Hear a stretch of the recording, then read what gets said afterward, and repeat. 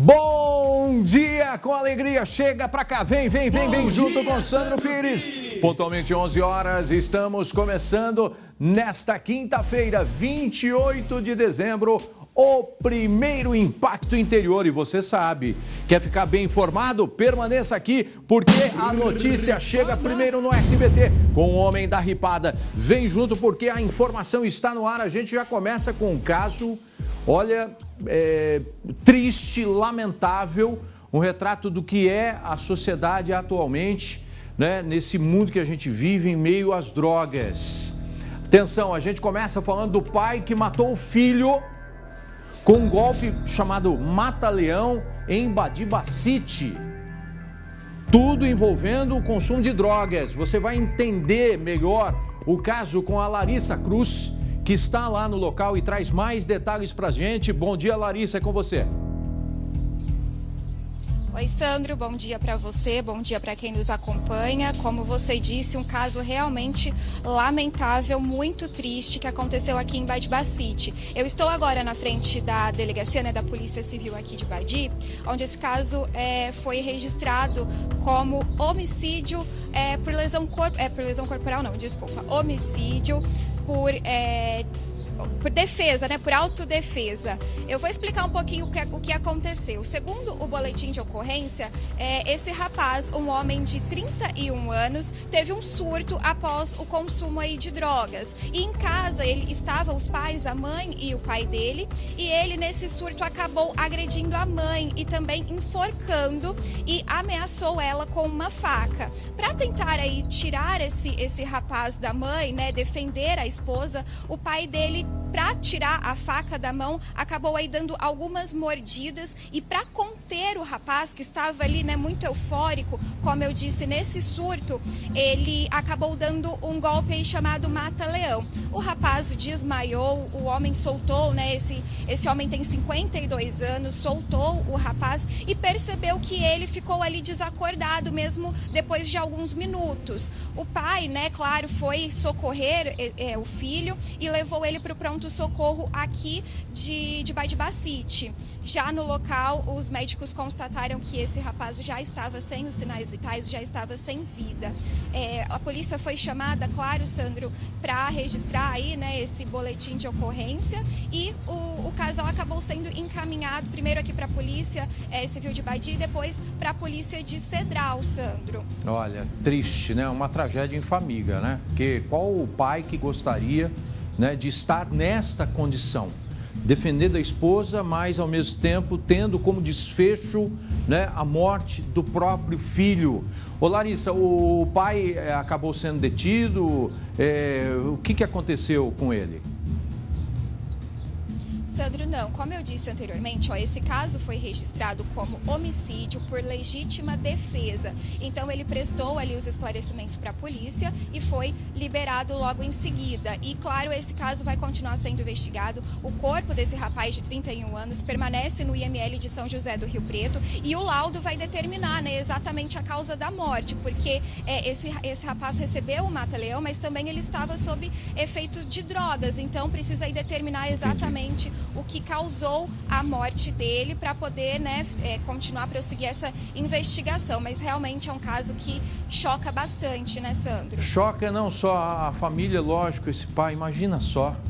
Né? Um filho que você colocou no mundo e aí as drogas acabam consumindo é, a, a pessoa, né? A pessoa se torna agressiva ao ponto de querer matar a própria mãe e o pai, para defender a esposa, né, acaba aí dando o golpe e acabou matando o rapaz. É lógico que tudo vai ser apurado se essa é a causa realmente da morte. Mas infelizmente as drogas estão acabando com a nossa sociedade. Não é o primeiro caso. E a droga acaba não só com a vida da pessoa viciada, que está doente, né? Está doente, transtornada, mas acaba com a vida da, da família inteira.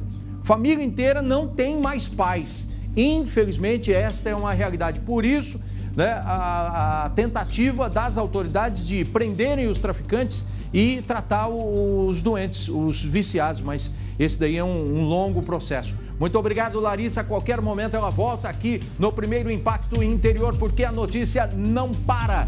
Teve mais homicídio na região, mais morte. O Lucas Piccolo já já traz os detalhes pra gente. Sandro, a vítima estava internada na Santa Casa de Araçatuba desde o dia 22 de dezembro, com graves ferimentos na região da cabeça. Já já eu trago todos os detalhes de como esse crime aconteceu. Tá certo, daqui a pouquinho você vai se chocar com esse caso, hein? É triste, é lamentável. Né? A pessoa foi atingida aí né, na, na, cabeça com um objeto que todo mundo tem em casa. Daqui a pouquinho mais informações. E atenção, um homem de 40 anos foi preso em flagrante depois de matar a esposa, uma mulher de 42 anos em Santo Anastácio. Mais um caso absurdo de violência, um feminicídio. A Jéssica Tábuas está por dentro desse caso e conta todas as informações para gente. Esse sujeito já está atrás das grades, foi preso pela polícia. Bom dia, Jéssica. Oi, Sandro, bom dia para você, bom dia para todos. Já sim, inclusive ele passou por audiência de custódia nesta manhã. A audiência terminou há poucos minutos e foi decretada a prisão preventiva desse homem. Só para o pessoal de casa entender, esse caso aconteceu da seguinte forma, Sandro. A polícia, num primeiro momento, foi chamada para atender uma ocorrência de tentativa de suicídio. Mas chegando então nessa residência que fica em uma chácara em Santo Anastácio, a polícia viu que se tratava de um caso de feminicídio, onde um homem teria matado, então, o marido teria matado a própria esposa. Chegando no local, a polícia encontrou esse homem que estava bastante descontrolado, bastante agitado. E quando a polícia perguntou sobre o nome da esposa, o paradeiro dela, ele então começou a chorar desesperadamente. A polícia decidiu, Sandro, fazer uma revista. Encontrou na bermuda que ele estava usando várias manchas, respingos de sangue, sabe? Com isso, ele acabou então sendo levado imediatamente para a delegacia. Ô, Jéssica, tem a motivação desse feminicídio? O que teria motivado? Ciúmes, uma desavença corriqueira ou essa mulher já estava sendo ameaçada? Há essa informação? Olha, Sandra, a polícia ainda investiga a motivação do crime, porque pode ter sido ciúme, sim, como também pode ter sido aí o fim de um relacionamento que esse sim. homem talvez não teria aceitado. Então a polícia ainda está investigando a motivação. O fato é que na hora que a polícia chegou ali nessa residência, o corpo da mulher foi encontrado. A mulher já estava morta, essa vítima de 42 anos, com perfurações de faca. E a polícia acabou de confirmar para nossa equipe que pelo menos cinco perfurações de Meu faca Deus. foram encontradas no corpo da vítima. Mas, né, nem depoimento, num primeiro momento, esse marido disse que não, que não teria matado a esposa a facadas, viu? Esse caso, ele está sendo investigado, como eu disse, é o corpo de Ângela dos Santos Quintana Alves deve ser enterrado ainda hoje, às 5 da tarde, no cemitério de Santo Anastácio, viu, Sandro? E para complementar, essa vítima tinha dois filhos, mas a polícia ainda não confirmou se esses dois filhos eram desse homem. Olha, e, e eu não sei quem ligou para a polícia. É avisando que, denunciando que talvez seria uma tentativa de suicídio, porque eu, eu fico aqui imaginando como é que a pessoa con conseguiria se matar com cinco perfurações. Na é verdade, é algo que não, não, não, não acontece. Pessoa que acaba atentando contra a própria vida é, é uma facada só, é né, um, um golpe só é algo absurdo e nem tem como, né? Não, não tem como o sujeito alegar, ah, não, não fui eu. Quem foi então? Então, né, se a pessoa estava lá, principalmente. Né, ah, é triste, lamentável, isso daí é mais uma ocorrência né, que a gente presencia aí no dia a dia da nossa sociedade, como você disse, pode ter sido fim do, do relacionamento, ciúmes, sei lá o que. As pessoas buscam motivação, né, Jéssica, para tirar a vida das outras pessoas, muitas vezes que juraram amor eterno né, no relacionamento e tem gente que ainda fala, ah, eu matei por amor, porque eu amava. Amava nada. O amor não, não causa dor. Se está acontecendo isso, aí está é, é, tá sendo um problema, né? Está sendo um problema realmente que deve ser enfrentado pela sociedade. Por sorte aí a polícia acabou prendendo o sujeito e agora é com a justiça para manter esse monstro aí atrás das grades. Duas crianças, dois filhos órfãos por conta da incompreensão né, do, do sujeito covarde. Muito obrigado, Jéssica, pelas suas informações. A gente vai dando sequência. Você sabe, você está no primeiro impacto interior ao vivo para você.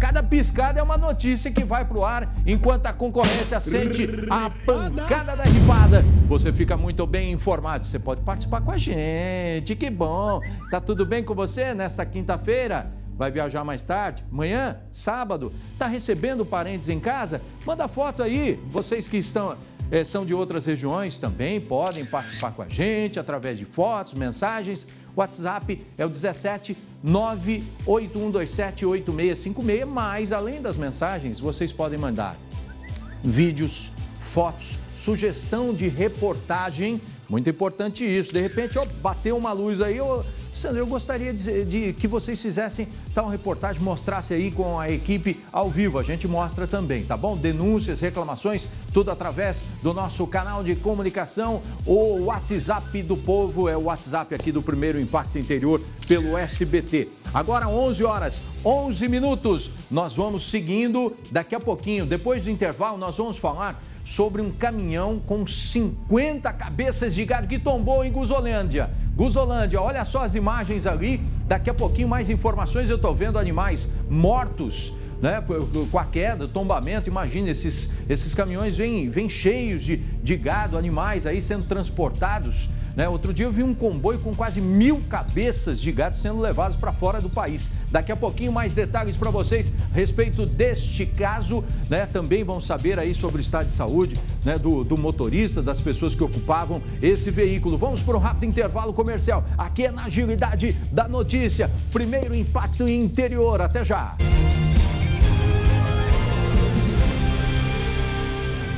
11 horas 14 minutos de volta com o primeiro impacto interior ao vivo para você nesta quinta-feira. A notícia que chega primeiro aqui, o que a concorrência vai dar depois, a gente antecipa para você. Vai ser enterrado hoje em Araçatuba. Um homem que morreu depois de se envolver em uma briga e ser agredido a cadeiradas. O Lucas Piccolo tem os detalhes para gente desta notícia. Bom dia, Lucas dia, Sandro. Bom dia a todos. Segundo o registro policial, este homem estava em casa com a irmã quando o agressor invadiu a residência e o agrediu com uma cadeira de madeira. Ele sofreu graves ferimentos na região da cabeça e precisou ser internado às pressas na Santa Casa de Araçatuba. Isso aconteceu no dia 22 de dezembro.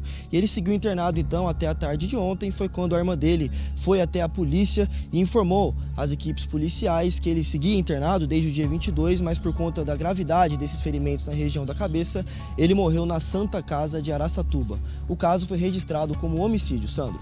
Agora, o Lucas, a pessoa que deu os golpes aí, né, a cadeirada na, na vítima, confessou né, que houve a agressão, mas está solto, é isso?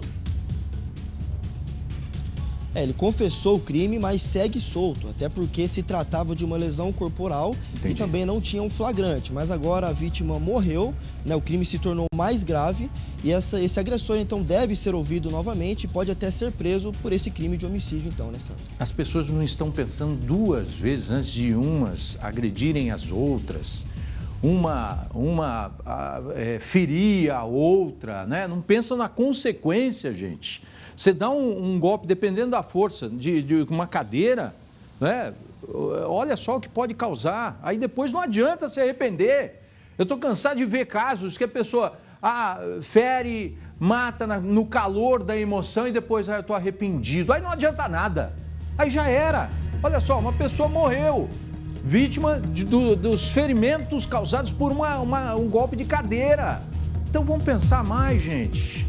É, bom, agora com a justiça aí, né, seguindo os trâmites é, da legislação. Muito obrigado, Lucas, pelos detalhes. Daqui a pouquinho ele retorna aqui porque a notícia não para no SBT. Primeiro Impacto Interior está junto com você nos lares, está no comércio, está na sua casa, tá onde você estiver, a gente está coladinho com você, tá bom? Daqui a pouco, motorista de caminhão morre em acidente na região oeste paulista. Jéssica Tábuas.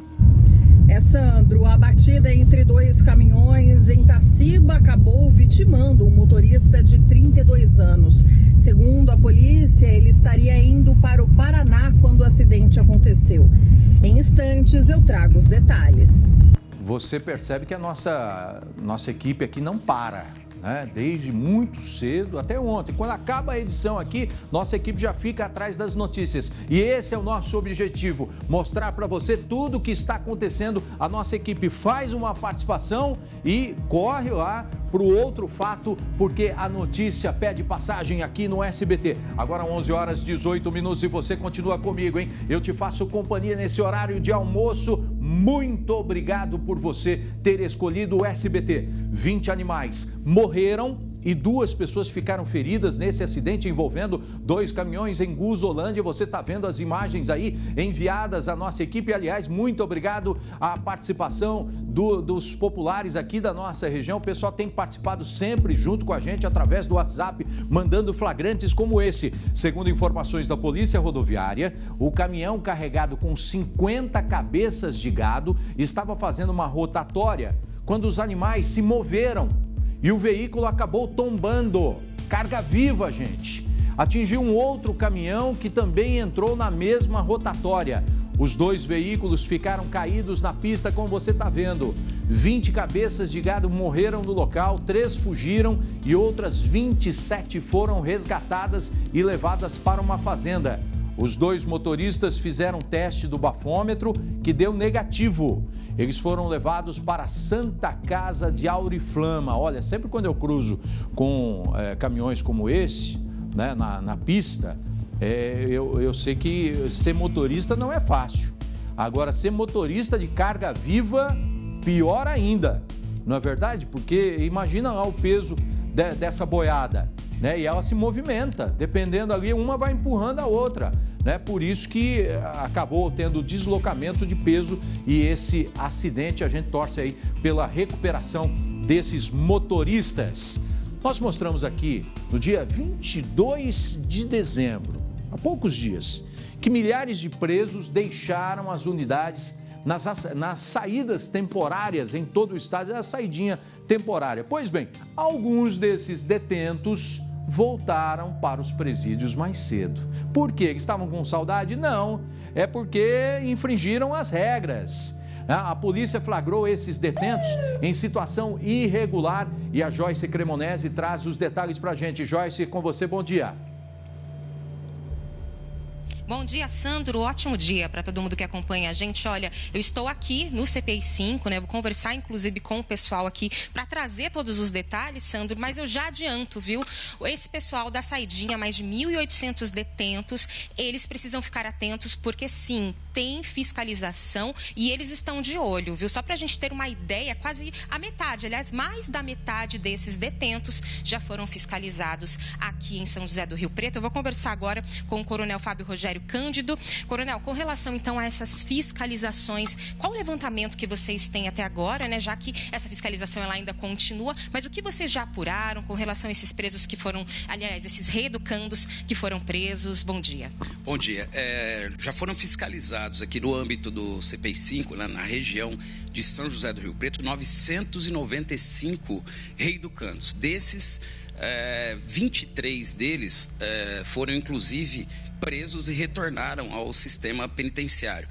E o que é complicado até da gente dizer é que alguns deles vieram a reincidir na prática criminosa, cinco foram presos em flagrante por tráfico de drogas, por furto de veículos e também por receptação. E o último deles que foi preso nessa noite, infelizmente, é, foi preso tentando agredir a ex-esposa e seus familiares. Né? Portanto, a questão da reincidência criminal desses reeducandos é algo que preocupa muito a segurança pública. Coronel, esse projeto ele chama Projeto Vida. Como que é feita então essa fiscalização? Como que vocês fazem aí nessa fiscalização desses detentos? Tem algum aplicativo inclusive que ajuda nessa fiscalização? Sim, desde 2021, numa parceria né, da Polícia Militar, da Secretaria de Segurança Pública com o Tribunal de Justiça, nós passamos a receber né, dos juízes né, das varas criminais e das, dos juízes das execuções eh, criminais as relações eh, de reeducandos que saem nas chamadas saidinhas, né, que tecnicamente a gente chama de saída temporária. Munidos dessas informações, isso é inserido nos nossos bancos de dados e o policial passa a ter uma informação online, on time, né, de onde estão esses reeducandos. Então, durante o patrulhamento, no próprio tablet da viatura ou mesmo no seu smartphone, o policial sabe exatamente onde aquele reeducando ele deveria estar, por exemplo, no descanso noturno, né? Ele deve estar na sua residência. E além disso, né, quando nós fazemos as nossas operações policiais em bares, por exemplo, no momento da abordagem, aquelas pessoas que estão ingerindo, por exemplo, bebida alcoólica, são verificados também se estão presentes esses reeducandos. Haja vista é, uma das medidas é, que eles não podem é, tomar é justamente a ingestão é, de bebida alcoólica. Portanto, nesses tipos de fiscalização, nós temos sido bastante exitosos aqui na região, sendo a região que mais tem feito esse tipo de prisão. Tá certo. Sandro, você tem alguma pergunta? É, eu, eu queria é, saber, primeiro, até quando vai essa operação, né? Até quando dura né? Até quando vai durar essa saidinha temporária e quais são os presos? É, é importante a gente esclarecer aqui para a população que não são todos os presos que têm esse benefício da saída temporária, que é muito questionada por muitas pessoas. Né? Primeiro, eu acho que tinha que ter uma avaliação mais detalhada, avaliação psicológica, porque você viu a reincidência é grande aí, né, de pessoas que saem aqui ou para agredir, ou para furtar, para roubar, ou para traficar. Então a avaliação tinha que ser bem detalhada. Né? Mas eh, quais são os presos? Eles não são todos, né, que podem ter o benefício da saída temporária e até quando vai é, é, essa operação especial? Coronel Sandro pergunta até quando vai essa operação e com relação a esses presos que têm o benefício dessa saidinha temporária, não são todos, né? Como que é feita aí é, a determinação de quem tem direito a essa saída temporária? Olha, a operação, essas operações que nós estamos fazendo vai até o próximo dia 3 de janeiro, né? e esses presos que têm esse tipo de, de benefício, eles estão no regime semiaberto e têm bom comportamento. Né? No entanto, infelizmente, alguns vêm a reincidir na, na prática criminosa ou mesmo descumprindo essas medidas determinadas pelo Poder Judiciário, eles vão acabar sendo presos no regime fechado. Né? Então, acabam tendo um prejuízo sério em relação à sua liberdade. Tá, ok, Coronel, muito obrigada pelas informações, parabéns, viu, pelo trabalho. Inclusive, Sandro, tá. esses detentes, esses reeducandos, né, que não retornarem no dia 3, eles passam aí a ser procurados da justiça, né? E para a gente ter uma noção, na nossa região, em Araçatuba, até agora, três reeducandos foram presos e na região de Presidente Prudente, oito.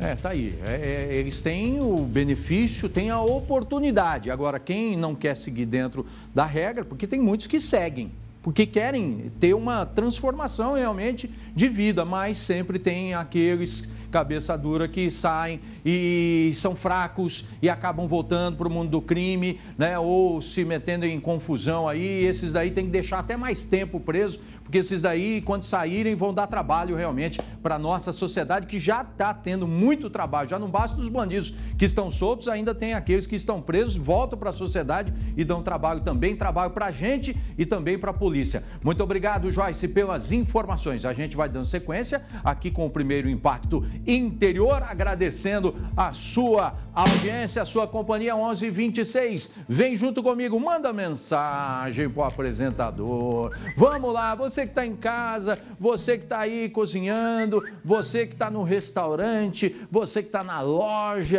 né? O pessoal que está aí na chácara, que está na casa, nadando, tem ideia. Tem gente que pode, né? Tá de férias tal. Tem mensagens aí, pode colocar. Vamos lá então. Vamos lá, Silvio Mazaro de Prudente assistindo o primeiro impacto. Valeu, tamo junto, Silvião, sempre participando aqui com a gente, ó. Todo dia, né? O Silvio tá ali. Ganhou na Mega o Silvio, hein?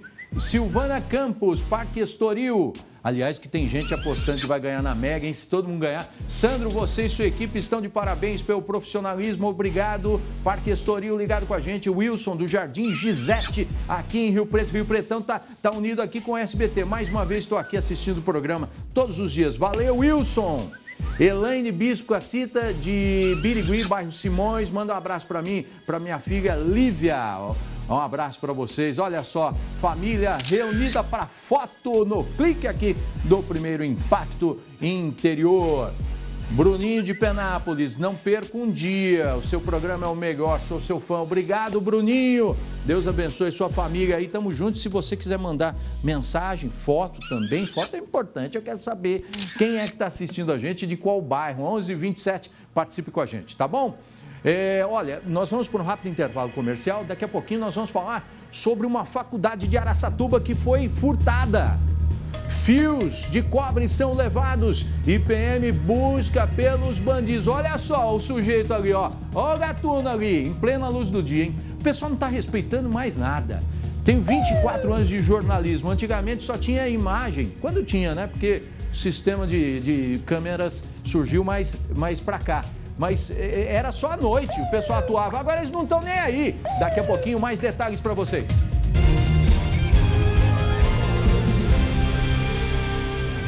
Estamos de volta com o primeiro Impacto Interior. Vem junto com a gente aí, porque a notícia não para aqui no SBT, 11 horas 31 minutos. Você que está aí nos acompanhando de casa, está de férias, vai viajar na virada do ano, está preparando as malas aí, está arrumando, né? Já está tudo certinho para viajar. Então presta atenção nas orientações da polícia para deixar a casa segura. Quem tem os detalhes para a gente ao vivo é o Lucas Piccolo, já está aí posicionado.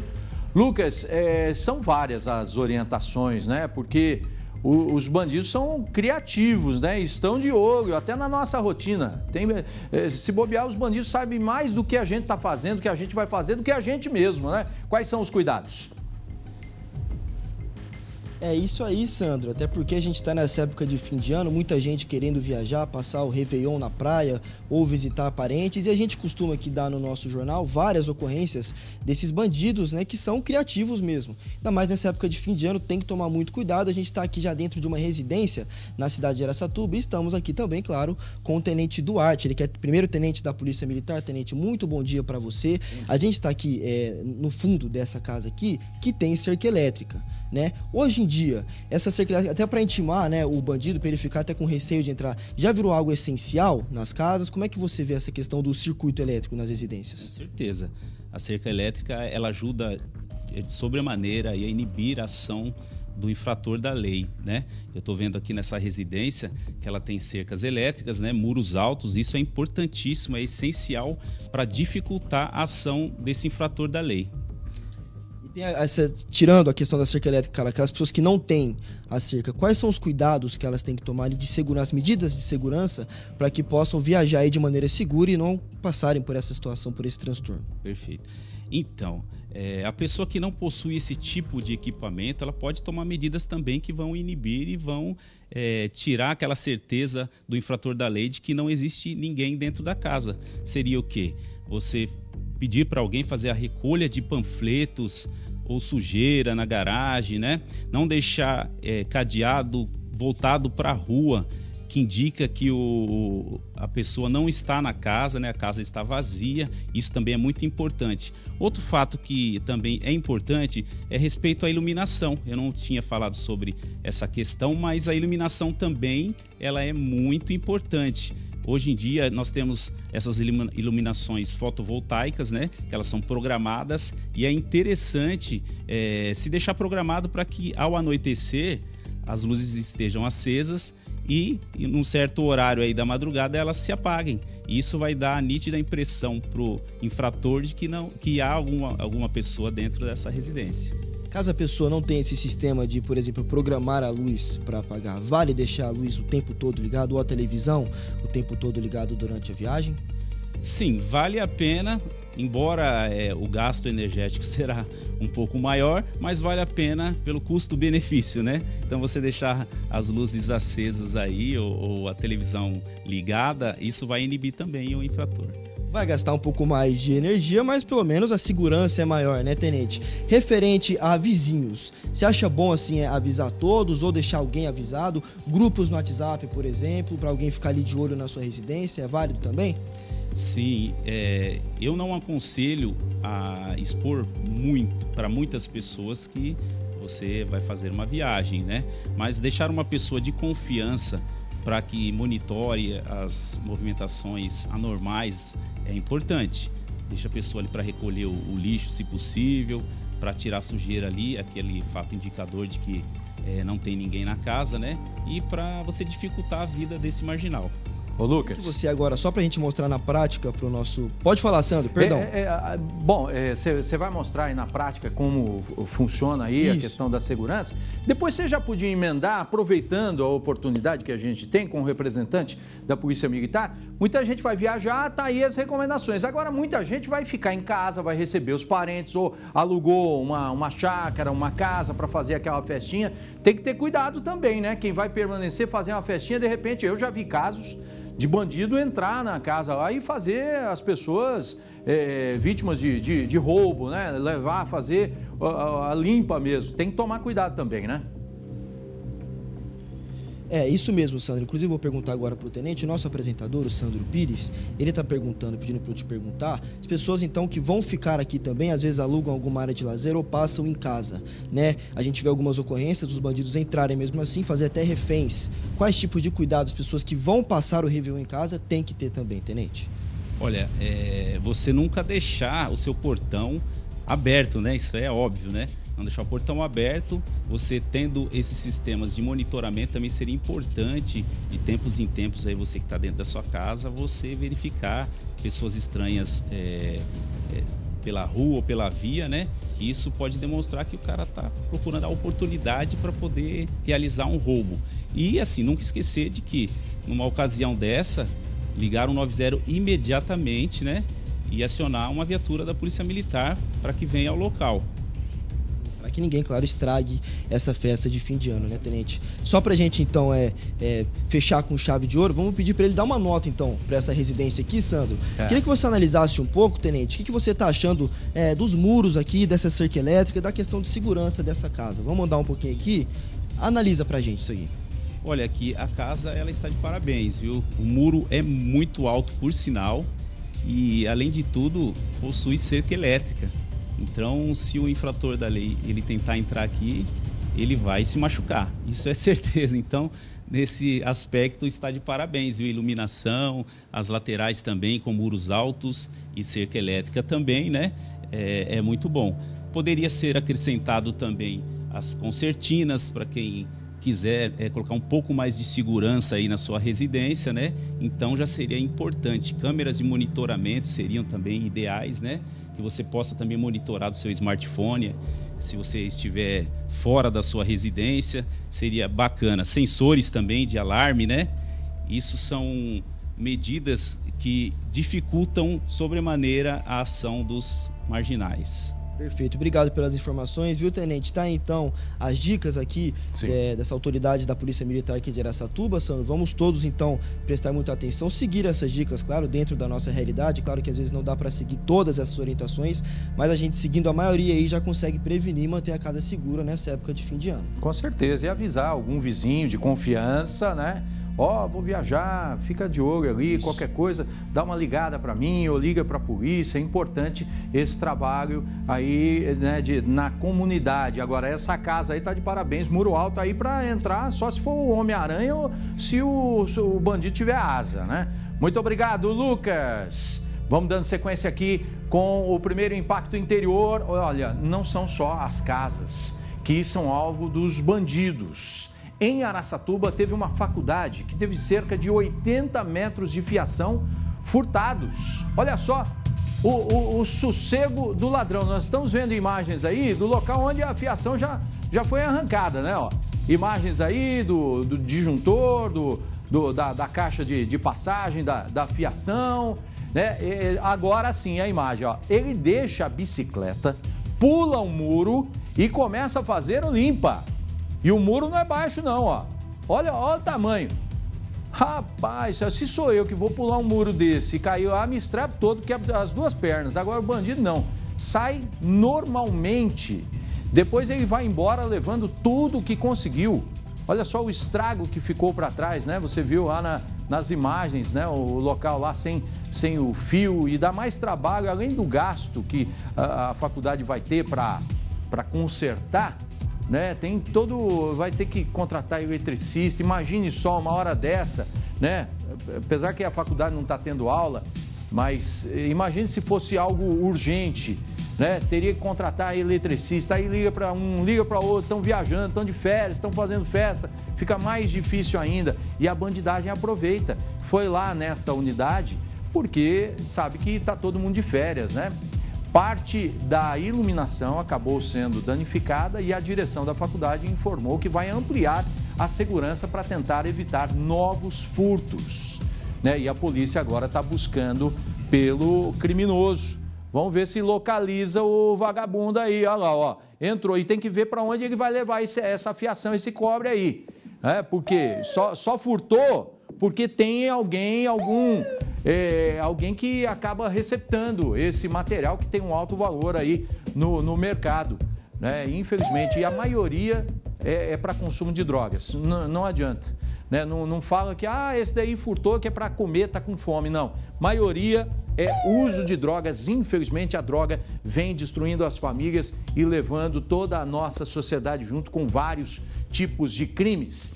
Olha, daqui a pouquinho, aqui no primeiro Impacto Interior, com as festas de fim de ano, muita gente aproveita para ir para a praia, né? Prainhas aqui da nossa região também, mas o número de afogamentos preocupa, então a Melissa Alcântara traz para gente esse destaque.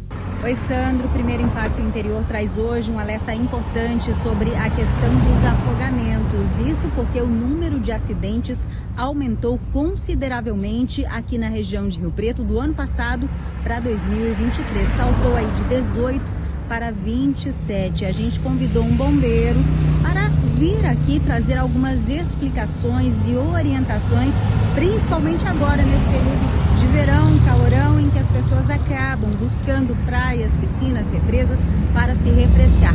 Então, daqui a pouquinho, todas as orientações para não correr nenhum risco, nenhum perigo. É, e nem todos os locais é, está permitido o banho né, das pessoas. Está muito quente, muito calor, pessoas vão se banhar e acabam se afogando. É importante a gente saber essas recomendações, viu? Daqui a pouquinho a Melissa volta. Ó, oh, e você? Já mandou a sua imagem, a sua mensagem aí? É, desejando feliz ano novo, energia positiva, gente. Vamos ter um 2024 daqueles, hein? Paulo César Mangerona de Dracena. Parabéns pelo programa, não perco. Valeu, Paulo. Quem mais está com a gente? Maria, do bairro João Paulo II, região norte aqui de Rio Preto. Seu programa é o melhor, na minha opinião. Tinha que aumentar o horário. Feliz ano a todos. Vou pedir para a direção aqui, dar uma esticada. Vamos ver. João Vitor, de Severinha. Oi, Sandro. Sua equipe é nota 10, realmente. Nota 10, parabéns. Homem da ripada. Quer uma ripada? Tá aqui, é para acordar o povo que está quase dormindo em casa né? Almoça e tem sono. Aparecida Scanferla de Birigui. Bom dia, Sandro. Final de ano, curtindo você aí. Valeu. Tem foto? Ah, tem foto. Olha lá, ó. Já tá com, com refrigerante na mão aí. Vinícius Gabriel, Jardim do Lago, em Rio Preto, sou teu fã. Minha avó, Dona Tereza, gosta muito de você, Sandro. Vem almoçar aqui em casa. Ô, oh, oh, tamo indo. Eu vou levar a minha equipe, ó. Silvinha aqui, nosso cinegrafista Rapaz, o homem come, é magrinho de ruim, de, de, ruim mesmo, porque come. Vou levar a minha equipe, espera aí, Vinícius. É um ônibus com 40 pessoas. Valeu, muito obrigado pela sua companhia. Manda um beijo para a vó. Muito obrigado a todas as vovós da nossa região que acompanham a gente. Tem um recadinho comercial para você? Especial. Isso, abre a câmera que eu quero mostrar esse produto que é sucesso realmente. Vamos falar da Equiprime, que é um suplemento mineral aminoácido destinado para melhorar a performance de equinos de competição, trabalho, lazer e outras atividades. Os aminoácidos unidos a vitaminas e minerais na composição do suplemento proporcionam um melhor desenvolvimento e recuperação muscular melhor morfologia e pelagem. O Equiprime é ideal para manter a pelagem dos seus cavalos brilhantes e saudáveis. Contribui para o desenvolvimento muscular e recuperação após atividades físicas intensas e promove ossos fortes e saudáveis, além de oferecer um suporte geral à saúde dos animais. Para cavalos atletas que têm um alto nível de exigência, ele oferece mais força, destreza e energia, tudo isso consequência do desenvolvimento muscular. Equiprime, o suplemento ideal para o seu equino. Se você quer ter esse produto campeão, Tá na hora de fechar negócio com a AgroServe. Ligue ou mande um WhatsApp, o pessoal tá lá de plantão, 18 996866751. Atendimento na hora e entrega rápida. Equiprime é com a AgroServe. 11 horas 45 minutos, está passando rápido o tempo, hein? Ah, quando o programa é bom, o negócio passa voando e é notícia uma atrás da outra. Daqui a pouquinho nós vamos falar sobre uma apreensão de drogas, ou melhor, uma apreensão. A gente tem que falar das apreensões, porque olha, estão aumentando, em 12% cresceu o número de apreensões chega a 250 toneladas em 2023 no estado de São Paulo. Daqui a pouquinho a gente fala sobre isso. Até já.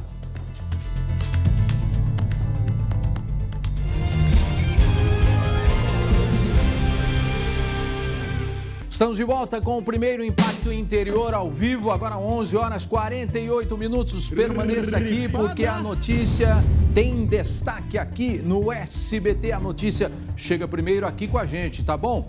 É... Um pai matou o próprio filho, ao que tudo indica, porque tem a investigação também, porque o, o rapaz estava em, em surto por conta das drogas, né? mas o pai acabou dando um golpe mata-leão, sabe quando abraça assim o, o pescoço da pessoa? Porque o rapaz estava agredindo, estava tentando matar a mãe. E aí o pai, para defender a esposa, acabou matando o próprio filho. Larissa está lá em Badibacite, onde ocorreu esse fato e tem mais informações para gente. Eu creio que, Larissa, a população tá, né, os, os moradores, vizinhos aí dessa família estão todos estarrecidos né, com essa, essa notícia. Infelizmente, as drogas estão acabando com várias famílias, né? É, Sandro, olha, neste momento eu estou aqui na Praça da Matriz de Badibacite, mas eu e o meu cinegrafista, o Alcir Medeiros, a gente passou ali, né, perto da casa de onde isso aconteceu, ali no bairro. Alguns vizinhos disseram que não ficou sabendo, não ouviu nada e que percebe que essa família é, é reservada, tá ali sempre dentro de casa, não tem muita movimentação. Mas ali na casa, né, é, onde aconteceu esse, essa tragédia, os familiares est estavam ali numa movimentação. A nossa equipe conseguiu ligar né, né na casa ali, é, onde funciona uma lavanderia, inclusive, e quem atendeu foi o genro da mãe desse rapaz. Ele estava bastante abalado, o pessoal chorando bastante. É claro, não, não vão falar nesse momento, né? E a gente entende é, o momento da família, mas eles disseram que estão agora ali nessa burocracia de velório e enterro, mas realmente o pessoal que convive ali, né, tem um espeto ali na frente da residência, o pessoal ali é bastante amigo, pelo que a gente entendeu, também estão bastante abalados. E também tem uma academia, o pessoal também vê ali a movimentação é, dessa família, né, do pai, da mãe e desse rapaz. Então, realmente é uma cidade pequena, o pessoal, quando é, fica sabendo desses casos, fica bastante abalado, né? Todo mundo se conhece, conhece a, a família. Verdade. Então, realmente é uma situação triste que. A, a, fica bastante todo mundo chocado, não só aqui, toda a região. E o que a gente apurou por enquanto é isso, que o corpo ainda está no IML aguardando aí os laudos e a gente volta com atualizações, né, Sandro, quando sair esse laudo, quando decretar de fato o que causou a morte desse rapaz. E olha, uma coisa que você falou chamou muito a minha atenção, né?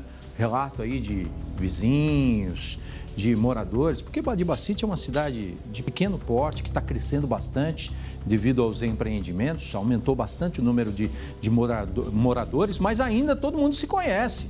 É né? uma cidade típica do interior, todo mundo conhece, sabe? Aquele lá, ah, é filho do tal, e um vai ligando o outro, muita gente, parente, né? que se cruzam assim. Né? Mas uma coisa que você falou chamou muita atenção, que é o fato de das pessoas falarem, não, uma família muito reservada, né? muito quieta, na dela. Só que, infelizmente, essa realidade né, vem de tempos. Muitas famílias se fecham devido até à vergonha. Porque, gente, o uso de drogas, muitas pessoas acabam ou é, pedindo dinheiro e aí pai e mãe já não sabe mais o que fazer. É essa a verdade. Pai, mãe, parentes, tio, avós.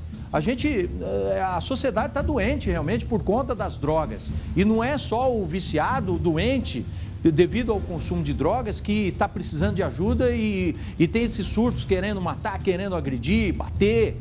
Não, a, a família toda sofre né, sofre com um fato como esse e infelizmente esse pai, ali no calor da emoção, acabou dando um golpe que acabou sendo fatal, o que tudo indica até aqui. É lógico que vai ter a investigação para saber se não foi o, o consumo de drogas. Né? Eu não sei por que essa desavença. Tem é, é, é informações a respeito disso? Se ele estava exigindo dinheiro da mãe, por isso a tentativa de agredi-la, é, muitas vezes o, o, o, pai, eu sou pai de três filhos, né? A gente tenta mostrar o caminho certo, mas infelizmente o mundo lá fora consome os nossos filhos. Graças a Deus não tem um caso como esse, graças a Deus. Mas infelizmente muitas famílias estão sofrendo com isso. Tem um relato de, de como foi essa confusão ou ainda não? É muito, pre, é muito precoce é, é, essa informação chegar até a gente, Larissa. Eu parei de ouvir o Sandro.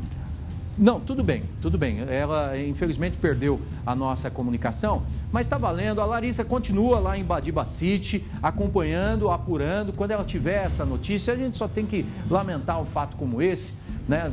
Do, do das drogas acabarem é, é, proporcionando esse desfecho de um pai que acabou matando o próprio filho por conta aí das drogas e a tentativa de, de salvar a esposa. E olha só essa história que aconteceu em Jales. Um homem de 37 anos estava na casa da namorada quando o ex dela invadiu o imóvel, armado com um revólver, e atirou duas vezes contra ele. Os tiros atingiram a boca e o braço do rapaz. Segundo o boletim de ocorrência, o homem que atirou tem 35 anos e tinha sido namorado da mulher por dois anos, mas eles já estavam separados há seis meses. O atual namorado foi levado para a Santa Casa e permanece internado. Já o ex foi encontrado em um pronto-socorro, todo machucado, com ferimentos de faca. Ele estava sendo socorrido por parentes. A suspeita é de que ele mesmo tenha se ferido. Para falar que foi legítima defesa, eu atirei, meu Deus, ou tentou se matar. Só se foi. Mesmo assim, ele acabou sendo preso em flagrante. A gente fica aqui torcendo pela recuperação do rapaz que levou os tiros e uh, o esclarecimento deste fato. Né? Qualquer novidade a gente traz para vocês. 11:54 e olha, um caminhoneiro de 32 anos morreu em um acidente na rodovia Rodolfo Ribeiro de Castro, em Taciba, região oeste.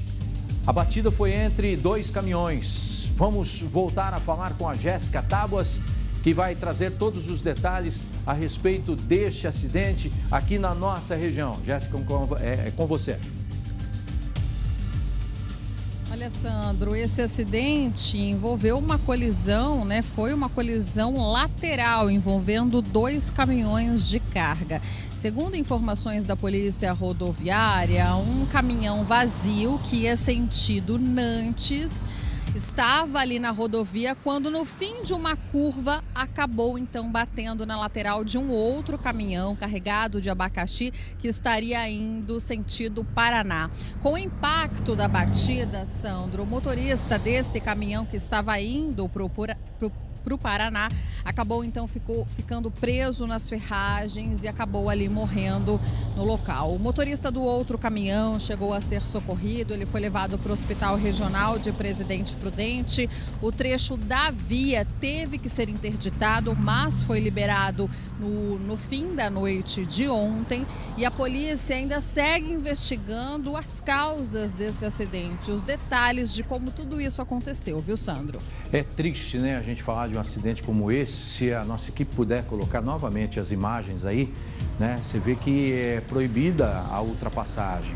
né, nessa curva aí, é uma linha reta, mas é uma estrada simples, né? E que os veículos acabam se cruzando, um deles acabou perdendo a, a curva aí e acabou atingindo o outro, né? Aí tem que ser apurado, velocidade alta, né? Ou então falta de atenção.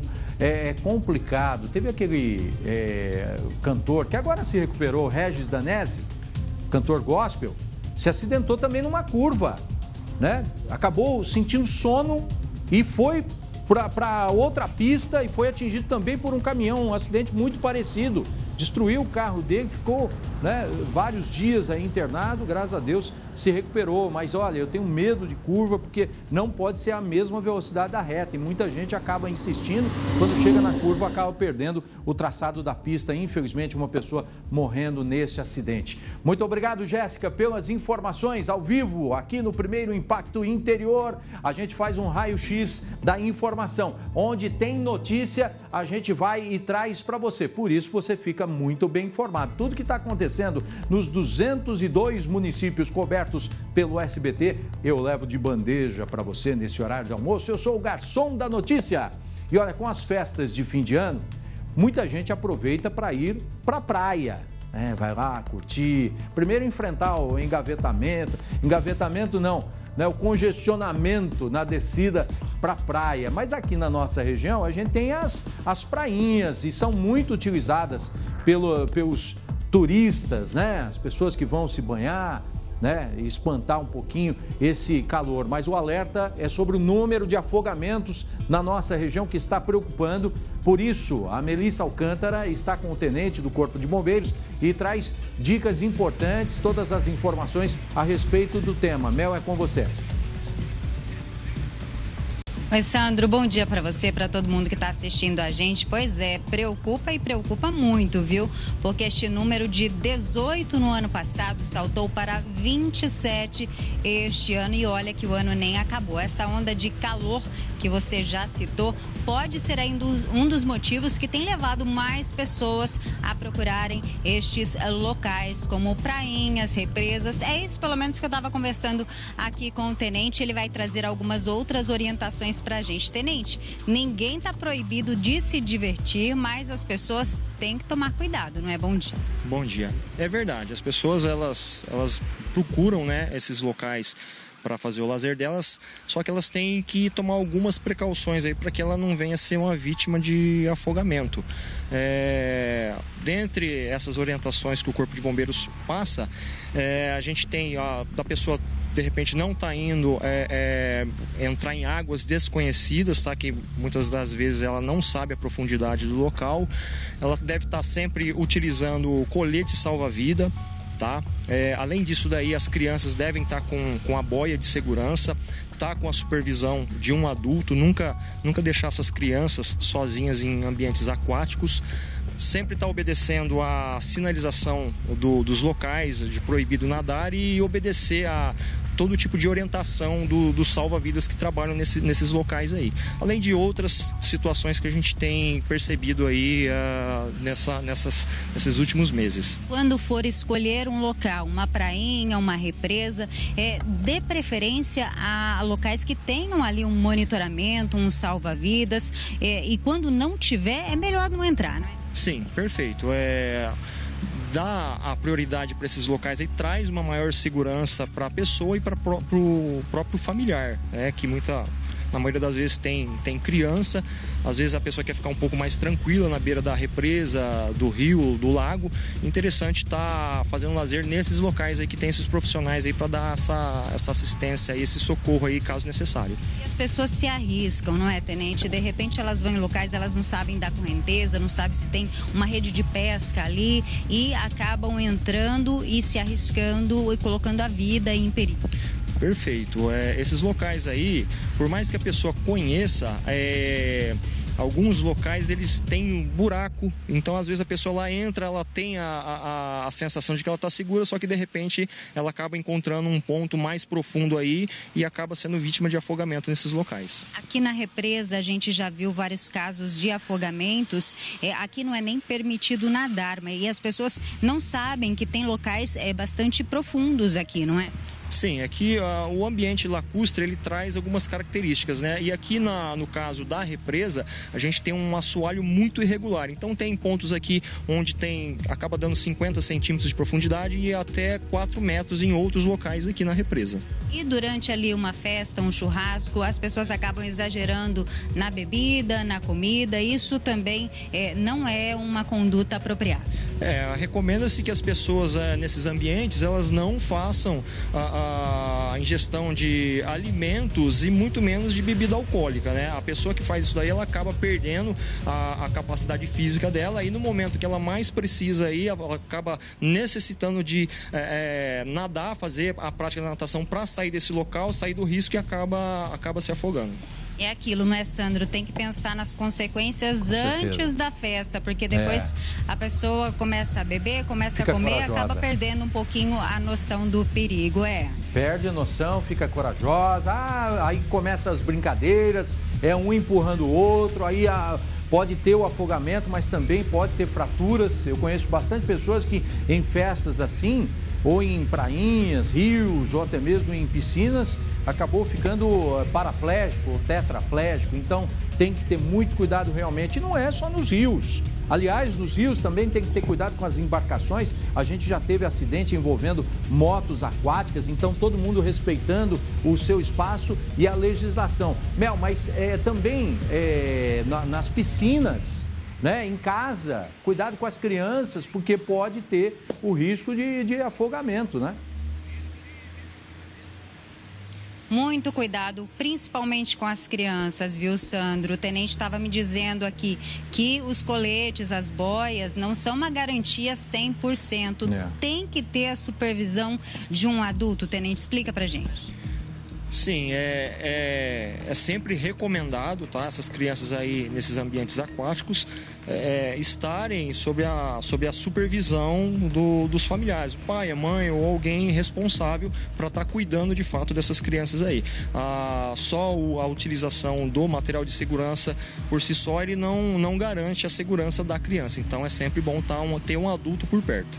Tá ok, tenente. Muito obrigada, viu, pelas suas orientações. É aquilo, né, Sandro? Basta um descuido para depois o arrependimento ser por toda a vida. É, e cabe a cada um de nós fazer a nossa parte para evitar qualquer tipo de problema. Muito obrigado, Melissa Alcântara, ao vivo, agora meio-dia, quatro minutos. Daqui a pouquinho, depois do intervalo comercial, a gente vai falar, atenção motoristas profissionais, prazo para exame toxicológico obrigatório termina hoje. Daqui a pouquinho nós vamos falar desse tema porque infelizmente é uma realidade no país.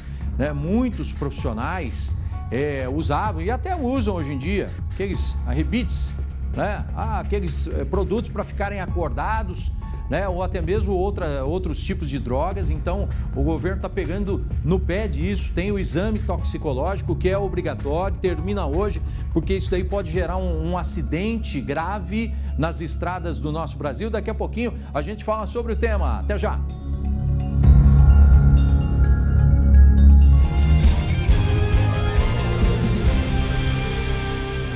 Estamos de volta com o primeiro impacto interior, agora meio-dia, sete minutos. Vem, vem, vem junto com a gente, porque a notícia está no ar. Ripada. Nesse comecinho de tarde agora, desta quinta-feira, com o Homem da Ripada. Tamo junto, e a equipe mais competente da televisão regional. Dados da Secretaria de Segurança Pública do Estado revelaram um dado preocupante. De janeiro a novembro deste ano, o número de apreensões de drogas cresceu 12% com relação ao mesmo período do ano passado. A Melissa Alcântara traz para gente esse, esse dado, esse apontamento. Né? É importante a gente trazer aí qual é o trabalho da polícia, o porquê disso, se aumentou o tráfico ou aumentou a, a, a, o, o serviço de policiamento. Mel, é com você. Olha, Sandro, foram apreendidas 250,4 toneladas de entorpecentes de janeiro a novembro deste ano.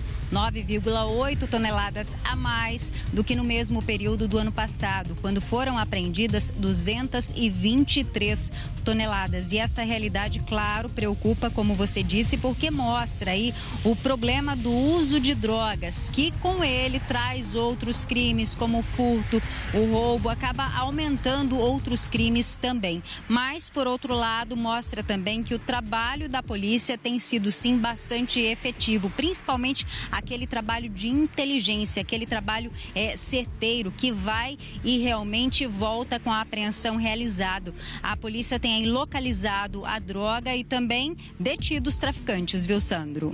É, o que tem que ter é isso, serviço de inteligência para realmente mapear por onde a droga está entrando, né? qual o trabalho que deve ser feito. A gente fica aqui na cobrança das autoridades da, políticas, principalmente, para ter um maior investimento em pessoal, em tecnologia, né? para que a gente tenha uma estrutura realmente para combater o tráfico de drogas dessas pessoas que estão lá em cima, porque tem gente graúda né, comandando o tráfico fora do país ou até mesmo dentro do país, distribuindo aí.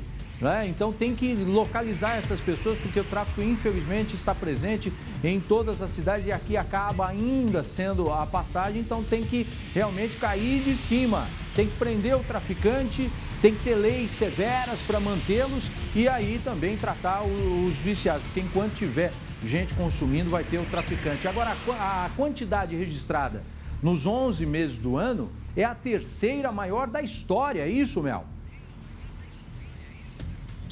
É isso mesmo, é muita coisa, chama atenção, ficou atrás apenas aí das apreensões dos anos de 2020 e 2021. E olha, não são só as forças de segurança aqui do estado de São Paulo que têm batido recordes aí na quantidade de droga apreendida. Nas rodovias federais, a Polícia Rodoviária Federal tem feito também um belo trabalho. O inspetor da PRF aqui de São José do Rio Preto falou sobre essa rotina aí de combate à criminalidade. Vamos ouvir. A Polícia Rodoviária Federal trabalha incansavelmente no combate a todos os tipos de crimes que utilizam as rodovias federais como principal escoadouro. Aqui na BR-153, na região de São José do Rio Preto, além das outras modalidades de crimes, a PRF trabalha também no combate ao tráfico de entorpecentes.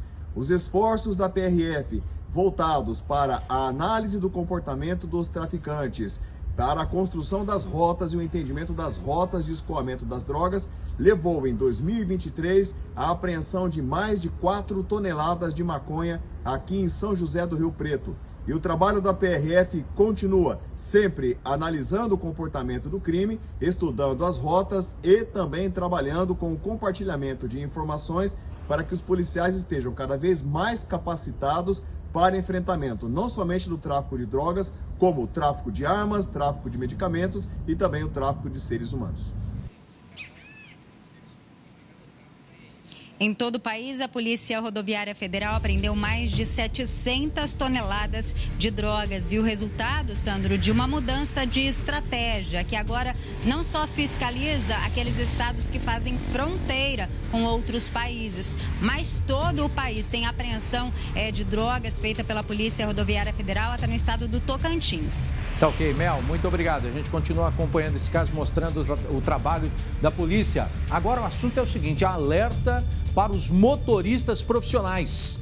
Termina hoje o prazo para fazer o exame toxicológico, que pode identificar o uso de substâncias que, infelizmente, ainda são muito usadas nas rodovias. O Joca Maluli está na Marechal Rondon para trazer essas informações para a gente. Aliás, ô Joca, pedi para a produção levantar alguns dados para a gente ter uma ideia do perigo que é o uso de drogas nas estradas, né? Muita gente que roda aí quilômetros e quilômetros, horas e horas, né, para ficar acordado, né, para lucrar e acaba causando acidentes também.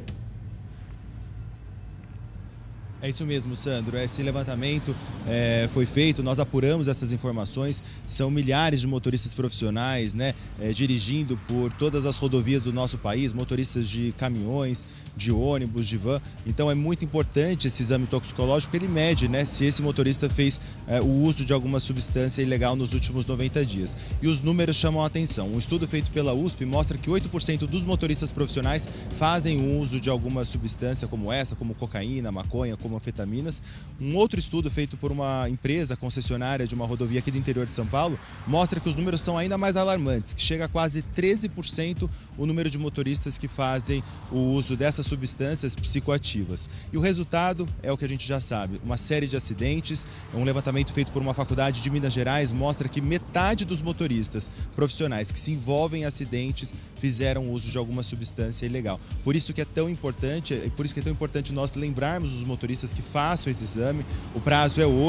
Lembrando que quando a pessoa faz o exame, é um fio de cabelo ou um, pelo do corpo que é analisado e mostra se esse motorista usou alguma substância nos últimos 90 dias. E esse exame tem que ser renovado a cada 30 meses, ou seja, a cada dois anos e meio, para dar mais segurança para todos os motoristas e para todas as pessoas que usam né, as rodovias, as estradas do nosso país. Sandro. Ô, Joca, e o que acontece com quem não fizer o exame, hein?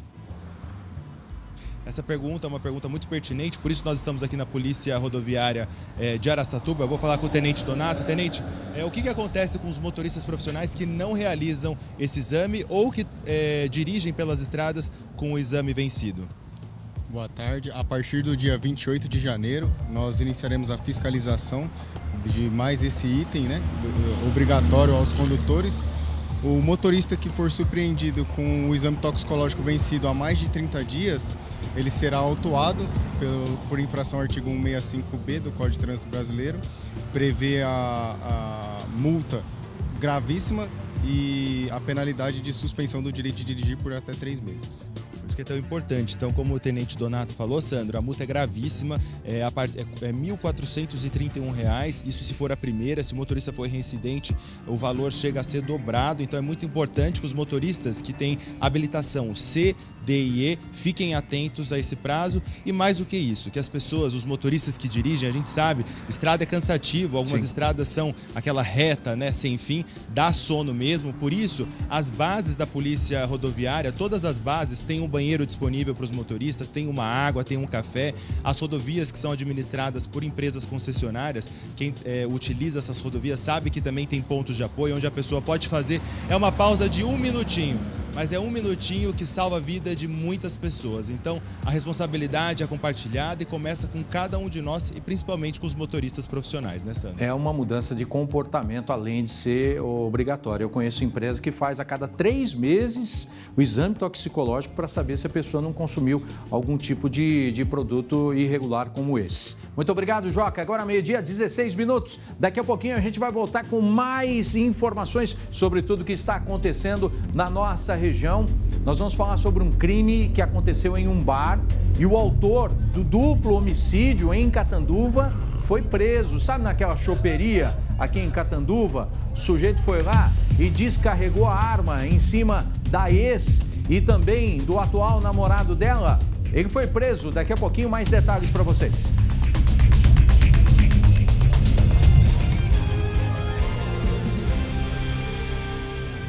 Estamos de volta com o primeiro impacto. Aqui quebra-costela apertada, aquele abraço carinhoso em toda a população que nos assiste. Meio-dia, 19 minutos. Vem junto comigo porque tem notícia urgente. Foi preso agora há pouco o autor do duplo homicídio ocorrido em Catanduva na semana passada, numa choperia. Larissa Cruz traz todos os detalhes pra gente. É com você, Lari.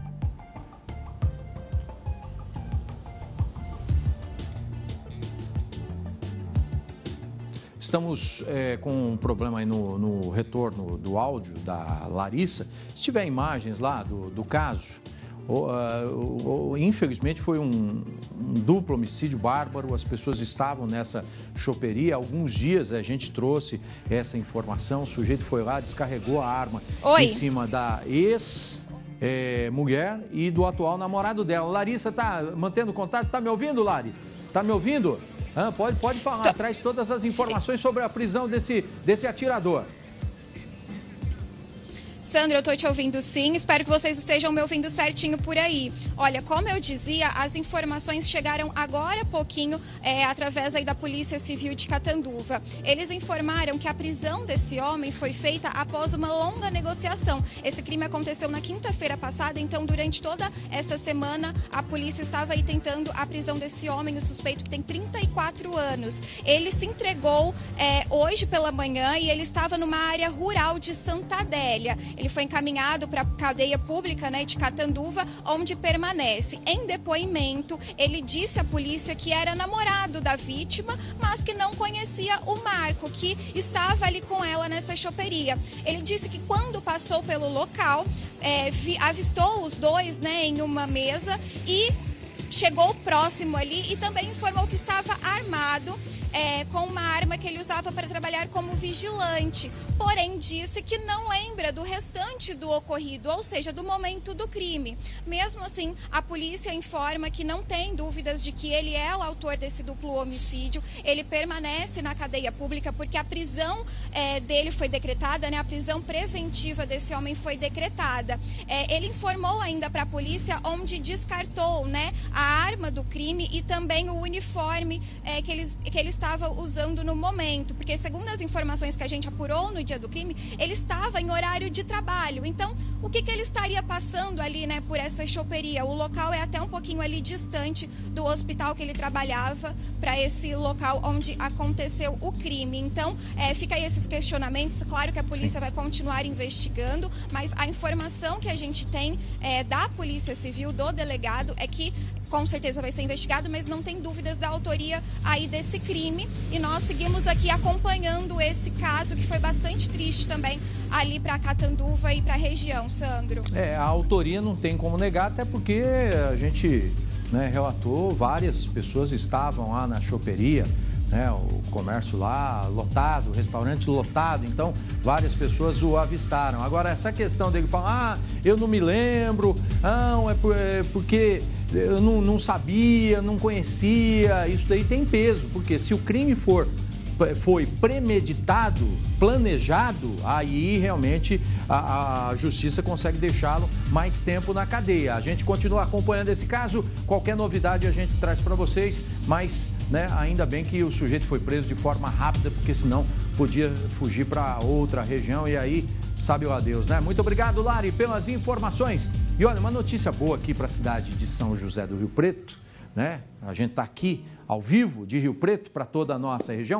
Prefeitura de Rio Preto fez a convocação de concursados para as áreas da educação e saúde, né? São mais de 200 professores, além de diretores de escola e coordenadores pedagógicos. A área da saúde também vai ser beneficiada, né? Os convocados na área da educação, aprovados no último concurso realizado em agosto deste ano, têm um tempo aí para apresentarem a documentação. Essa foi a segunda convocação do concurso, que no início de dezembro já havia chamado 98 professores PEB 1 e 14 especialistas, quatro diretores de escola, cinco coordenadores pedagógicos, um supervisor de ensino, um psicólogo, dois assistentes sociais e um bibliotecário. Hoje também é, vai ser feita a renovação dos contratos de 122 professores PEB 1 e 15 professores PEB 2 para atuarem no ano letivo de 2024 nas escolas da rede municipal.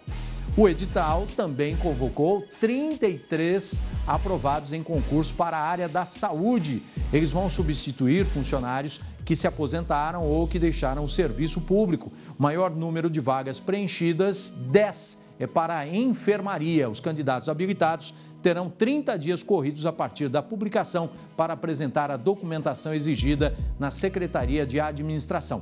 Caso não sejam entregues dentro do prazo estabelecido, perdem o direito à nomeação. E olha, agora vamos falar de din-din no bolso. Pessoal que tá doido aí caçando dinheiro, né? Tá difícil realmente. O prazo para sacar o PIS/PASEP 2023, referente ao ano trabalhado de 2021, termina hoje. Muita atenção se você ainda não sacou. Joca Maluli vai explicar certinho quem tem direito né, e como fazer o saque. Joca, é com você. É isso mesmo, Sandro. É o abono salarial né, do PIS/PASEP com ano base de 2021. Ou seja, os trabalhadores que tiveram registro em carteira ao longo do ano de 2021 têm direito, mas não são todos os registros. Se você foi registrado por uma empresa, ou seja, se o seu empregador foi um CNPJ, você pode procurar porque provavelmente você vai ter direito. É só para trabalhadores com renda de até dois salários mínimos, ou seja, trabalhadores com renda superior a dois salários mínimos ou que o empregador foi uma pessoa física, um CPF não entra nesse benefício benefício do governo. Segundo informações, são 71 milhões de reais disponíveis, são mais de 85 mil trabalhadores que têm direito e o prazo termina hoje. Qualquer trabalhador que teve registro de pelo menos 30 dias ao longo do ano de 2021, com, as, com, as, com, as, com os pré-requisitos que eu já falei, tem direito. O valor é proporcional de R$ 108,50 por mês de registro e aí isso é acumulativo ao longo de todo o ano, podendo chegar até os 12 meses. Mas é fundamental que a sua empresa, que a empresa que você trabalhou ou trabalha ainda ao longo do ano de 2021, tenha prestado as informações que são obrigatórias, que é a RAIS, é a relação anual de informações sociais para que o governo saiba que você era um trabalhador devidamente registrado por uma empresa, por um CNPJ e que você recebia até dois salários mínimos. Então, trabalhadores que estão na dúvida, vale a pena acessar né, a carteira digital de trabalho para ter mais informações e poder acessar esse benefício. O prazo termina hoje, Sandro. Depois, se a pessoa não fizer o resgate, não Sim. receber o benefício, ela ainda tem mais um prazo para conseguir. Mas aí é um trâmite bem mais burocrático e eu tenho certeza que dinheiro no bolso a gente não vê a hora de colocar, né? Então não vamos perder tempo. Quem acha que tem direito, acesse aí o, o carteira digital e passe aí essa viradinha de ano com esse com esse presentinho, né? É, ou pelo menos tem um dinheiro para pagar as contas, né? Porque a maioria dos brasileiros o que não falta é conta. Muito obrigado, Joca, pelas informações. Ó, oh, tem mensagem aqui do, do pessoal de casa? O pessoal tá mandando. Aliás, muito obrigado a participação em peso através do WhatsApp do povo aqui. Ó, de Meia, bairro Romano Calil, em Rio Preto, não perco por nada. Quero desejar parabéns para o meu filho João Henrique, aniversariante de hoje. Ele é PM, que Deus abençoe sempre ele. Beijos, feliz ano novo. Maravilha, tá aí a imagem do filhão. Parabéns né, pelo, pelo aniversário, pela atuação aí na, na Polícia Militar. Marcelo Correia de Mirassol, bom dia, meu amigo Sandro Pires. O primeiro impacto, o povo tem vez e voz. Feliz ano novo, obrigado, Marcelo.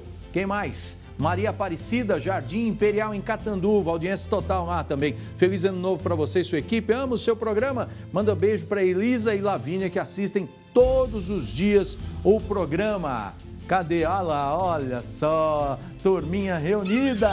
Quem mais está com a gente? Everton Messias de Mirassol também, audiência, ó, bombando lá em Mirassol. Bom dia, Sandro, acompanhando aqui de Mirassol. Feliz ano novo. Tem foto? Tem foto dela? Não, não tem. Manda a foto da próxima vez. Vanderlei Oliveira de Baguaçu, Distrito de Olímpia. Bom dia, Sandro. Estamos juntos. Aqui é o Vanderlei de Baguaçu. Valeu!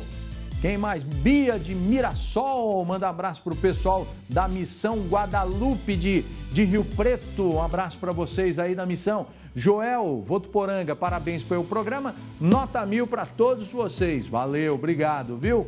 Tá aí, mandou a foto assistindo aqui o Sandro Pires. Que bom, Arthur de Araçatuba, eu e minha gata Alice. Estamos ligados no SBT Interior. Tem a foto aí para a gente encerrar? Olha, é a gata mesmo. Eu pensei que fosse namorada. Meio-dia, 29 minutos. Encerramos aqui a edição desta quinta-feira do primeiro Impacto Interior. A gente volta amanhã ao vivo, antecipando as notícias do dia para você a partir das 11 horas, tá bom?